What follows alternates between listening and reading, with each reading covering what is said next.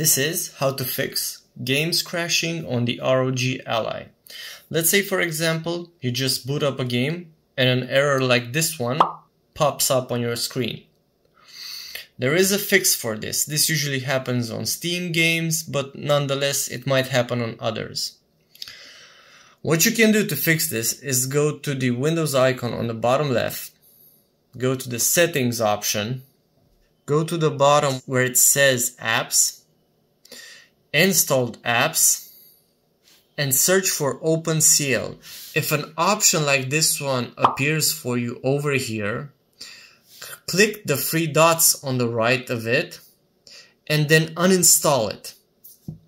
Once you uninstall this OpenCL app, go to the Armoury Crate, search for it in Windows, make sure if you have any updates to do in here, it is done, and then try restarting your game. Now you know how to fix games crashing on the ROG Ally.